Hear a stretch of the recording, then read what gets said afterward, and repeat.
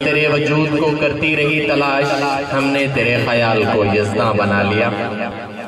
ना इनफरादी बॉयज़ का मुकाबला यहाँ इख्ताम पजीर हुआ। अब अगला मुकाबला ना इनफरादी गर्ल्स का है। तो सबसे पहले मैं दावत देता हूँ।